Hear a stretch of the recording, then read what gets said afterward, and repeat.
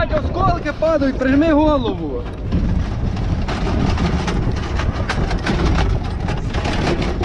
Держися, Влад.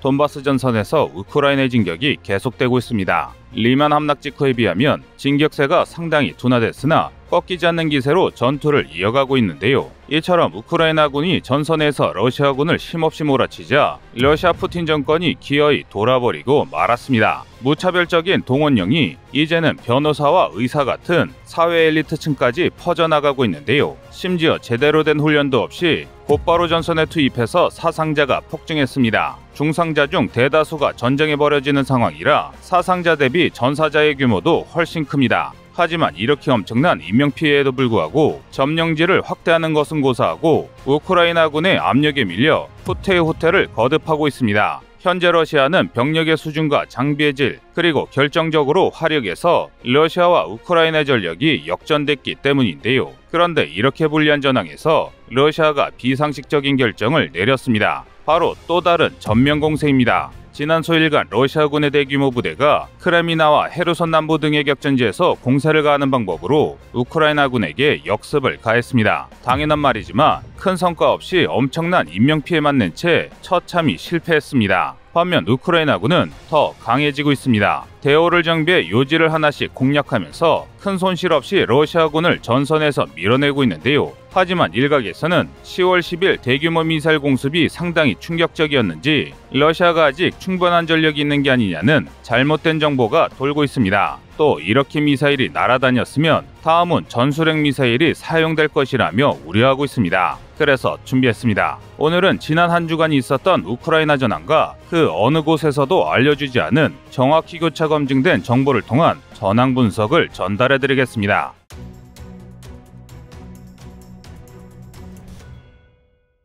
지금 보시는 지도는 친우크라이나 OSINT war mapper가 공개한 10월 13일 자정까지의 우크라이나 전선 현황입니다. 아마 이렇게만 보시면 뭐가 달라졌는지 모르실 겁니다. 그러나 한 달 전인 9월 9일과 비교하면 차이가 확연한데요. 동북방과 남서부에서 우크라이나가 러시아군을 크게 밀어낸 게 한눈에 보입니다. 그만큼 우크라이나의 반격이 굉장히 성공적이었다는 것인데요. 특히 루한스크 전선에서 우크라이나군의 진격이 매섭습니다. 일례로 오스킬강 동안의 러시아군을 섬멸한 뒤 스바토베 전면을 수비하는 러시아군을 소탕 중입니다. 이 기세라면 11월이 되기 전에 스바토베가 함락될 가능성이 매우 높습니다. 그런데 이 상황에서 러시아군이 갑자기 역습에 나섰습니다. 크레미나에서 집결한 러시아군이 갑자기 크레미나 전면의 작은 마을 디브로바에 공세를 걸었는데요. 크레미나로 접근하는 우크라이나군을 잠깐이라도 막기 위해 벌인 무계획적인 공세였습니다. 당연히 러시아군은 순식간에 밀려났습니다.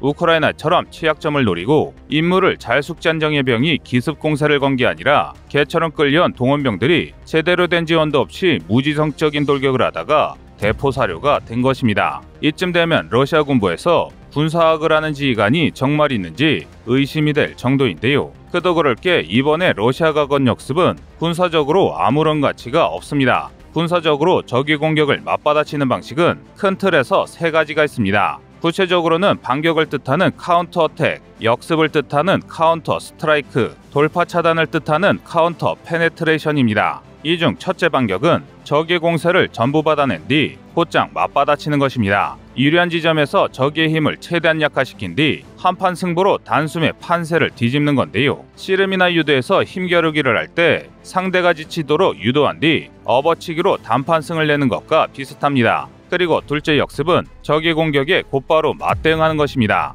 권투에 비하면 쉽게 이해가 가실 텐데요. 어퍼컷을 노리고 한 방에 들어오는 상대에 맞서 피하거나 버티는 게 아니라 공격을 최대한 흘려가며 가드가 내려간 상대의 얼굴로 스트레이트나 훅으로 꽂아 넣는 역습입니다. 적의 공격으로 내가 치명상을 입기 전에 상대가 공격을 이어나갈 수 없게 빠르게 역공을 하는 것이죠. 군사적으로는 지난 3월에 벌어졌던 키우 전투에서 우크라이나군이 호스토멜 부차에서 공세를 펼치는 러시아군의 옆구리를 때려 역포위를 시도했던 게 좋은 사례입니다. 그리고 마지막으로 돌파 차단은 빠르게 전선을 돌파해 아군의 후방을 휘저으려는 적의 타격 부대를 후방에서 끊어버리는 방법입니다. 검도나 호신술에서 들어오는 칼을 몸으로 받아내지 않고 칼을 진 손을 때리는 것처럼 진격하는 적을 정면에서 맞받아치는 게 아니라 취약한 후방을 끊는 건데요. 지난 3월 체르니유와 수미의 우크라이나군이 이런 방식으로 러시아 제1근위 전차군을 사실상 괴멸시켰습니다. 그런데 최근 러시아가 보여주는 모습은 이 중 어디에도 해당되지 않습니다. 반격이라고 보기에도 어려운 게 우크라이나군이 지치지도 않았는데도 불구하고 러시아군은 다짜고짜 참호해서 우후죽순으로 튀어나와 포탄에 다져졌고 역습이라기에는 우크라이나의 기세를 전혀 꺾지 못했습니다.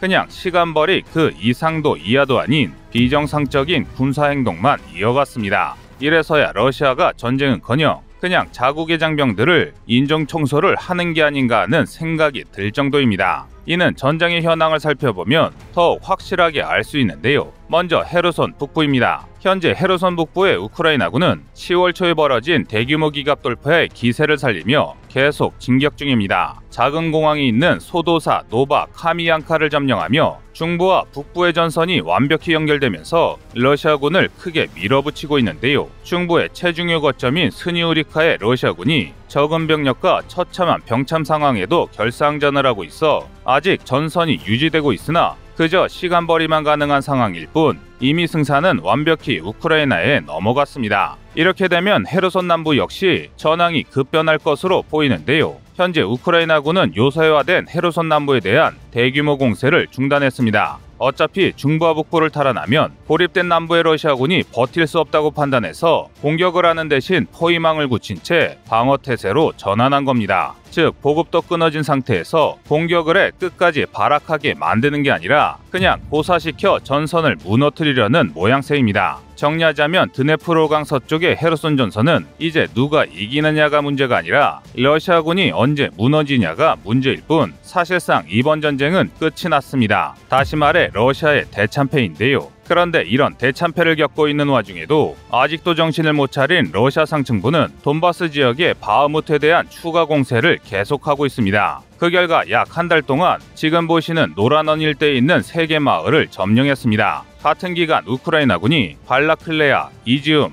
리만, 쿠판스크, 아랑겔스케 등 인구 수만의 도시와 수백 개 마을을 탈환한 것과 비교하면 참 초라한 결과라 할 만한데요. 이것만 봐도 러시아군이 이 전쟁에서 이길 가망이 없다는 게 확실히 드러났습니다. 또 여기서 증명된 것이 하나 있는데 지금의 전쟁은 러시아 자국이 승리하기 위한 전쟁이 아니라 푸틴이 자신의 정권을 유지하기 위한 정치 공세로 이미 변질됐다는 것입니다. 이를 방증하는 게 얼마 전 꺼리투브에서 전해드린 것처럼 현재 기준으로 바흐무트는 군사적 이점이 전혀 없는 지역이기 때문입니다. 그저 이전부터 공세를 이어간 지역이고 이곳을 승리로 마무리 짓기 위한 보여주기 쇼로 변했습니다. 그런데 러시아의 이런 황당한 홍보와 함께 지난 10월 10일 있었던 대규모 미사일 폭격 이후 전력을 숨겨뒀을 뿐 언제나 우크라이나를 끝장낼 수 있다는 러시아의 주장에 혹한 분들이 많습니다. 여러 기사에서 미국의 탄약 재고가 곧 바닥난다는데 러시아는 대규모 폭격을 하고 있으니 물량이 충분한 러시아가 승리한다는 것인데요. 그런데 이는 전혀 사실이 아닙니다. 그 증거가 바로 지금 보시는 러시아군의 포격량입니다. 보시다시피 하이마스가 러시아의 탄약고 부수기에 본격적으로 나선 8월 이후 러시아군의 포격량이 꾸준히 급감하다가 요 며칠만 잠깐 반짝 포격량이 늘어난 것을 볼 수 있는데요. 이 통계를 통해 러시아가 숨겨둔 전력을 개방한 게 아니라 허세를 부리려고 남아있던 물량을 닥치는 대로 끌어다 모아 낭비했을 뿐이라는 게 증명됐습니다. 즉 마른 오징어를 한 번 더 짜내 물을 만들어내고 있는 상황이란 것이죠. 또 전쟁 초 러시아가 주장하는 막대한 구소련제 탄약은 허구로 판명났습니다. 이는 당장 미국만 봐도 알 수 있는데요. 아시다시피 미군은 냉전에서 승리한 이후에도 100만이 넘는 대군을 꾸준히 유지했습니다. 그래서 냉전 시절 만들어둔 탄약과 장비를 방치한 러시아와 달리 오래된 장비도 꾸준히 사용했고 부족한 물량은 새로 생산했습니다. 심지어 수십 년간 여러 차례 전쟁을 치르면서 수십조 달러라는 감히 상상도 못할 막대한 전비를 들여 꾸준히 물자를 생산하기도 했는데요. 그런데 이런 미국도 부족한 게 탄약입니다. 바꿔 말해 냉전이 끝나자마자 세계 각지의 분쟁지대에 무기를 팔아먹고 수십 년간 제대로 관리하지도 않은 러시아에 이런 탄약이 더 많다는 건 아무리 따져봐도 말이 되지 않습니다. 이를 방증하듯이 이미 수개월 전부터 러시아군의 포신 수명이 다한 대포들이 피로 누적으로 파괴되고 있다는 사실이 여러 매체를 통해 알려지고 있습니다. 이렇게 포신도제 때 공급 못하는데 탄약이 넘친다니 허세도 이쯤 되면 병입니다. 반면 우크라이나군의 화력은 날이 갈수록 강화되고 있습니다. 우크라이나에서도 새로 공급한 서방제자 주포가 포신 수명이 다해 파괴되는 등 여러 사고가 일어나고 있지만 서방 각국의 지원을 받아 예비 포신과 탄약을 통해 손실분을 메우고 있는데요. 이처럼 우크라이나군과 러시아군의 격차는 러시아의 무지성 동 원령에도 불구하고 그 격차는 오히려 더 빠르게 벌어지고 있습니다. 이를 가장 절감하고 있는 것은 전선으로 끌려온 러시아 신참 동원병인데요. 지난 10월 5일 우크라이나 국방부는 한 러시아 병사가 인터넷에 게재한 정보를 공개했습니다. 고작 2주 만에 9월 19일에 증언된 동원병 29명 중 단 7명만 살아남았고 더 많은 병사가 필요하다는 게 그의 주장이었습니다. 이는 달리 말해 부대 76%가 한두 번의 전투 참가로 모두 사상당했다는 뜻인데요. 그 사이 러시아군의 장비와 병력의 질이 더 떨어졌다는 것을 고려하면 현재 전선에 흩어진 러시아군의 상태는 더 나빠지면 나빠졌지 나아질 리는 없습니다. 이는 사상 통계로도 파악이 가능한데요. 세베르도네츠크 전투가 한창이던 6월과 비교했을 때 현재 러시아군에서 발생하는 일일 전사자는 무려 2배에 달합니다. 그런데 충격적이게도 이 수치는 직전 우크라이나 공세가 한창이던 시절에 비하면 크게 줄어든 것입니다. 이게 무슨 말이냐면 러시아군의 사상자가 마치 수십 년에 걸쳐 지켜보면 끊임없이 우상향하는 주가 그래프처럼 폭락과 폭등을 반복하면서도 꾸준히 늘고 있다는 것입니다. 따라서 이대로라면 수개월 내에서 하루 전사자 1000명은 아무렇지 않게 넘는 상황이 올 게 분명해 보입니다. 하지만 지금까지 러시아군과 러시아 정부가 보여준 한심한 작태를 볼 때 별다른 대안이 없을 게 뻔합니다. 그러므로 러시아군의 손실을 통계로 정리한 그래프는 시간이 갈수록 피해가 기하급수적으로 상승하는 지수함수의 형태가 될 것이며 최소 수십만 명에서 수백만 명에 이르는 러시아의 청년들이 우크라이나 들판에서 뼈를 묻게 될 것입니다. 그리고 그 결말은 몇 주 전 지급되는 무기와 물자가 엉망이라며 파업하겠다던 러시아 장병들처럼 정권에 저항하는 군인들이 늘어나 혁명으로 무너진 제정 러시아의 전철을 밟을 것 같은데요. 러시아군의 젊은 장병들이 옳고 그름을 잘 따져서 부디 바른 선택을 해 귀중한 목숨을 지키길 바라겠습니다. 이상 꺼리투브였습니다. 안녕하세요. 꺼리투브입니다. 여러분의 가부나 성원에 힘입어 군사무기에 관심 없는 분들도 쉽게 이해하실 수 있는 대한민국의 육해공 군사무기의 숨은 비하 이야기를 책으로 엮었습니다. 하루 종일 검색해도 절대 찾을 수 없었던 비밀스러운 내용을 이제 책으로 만나보세요.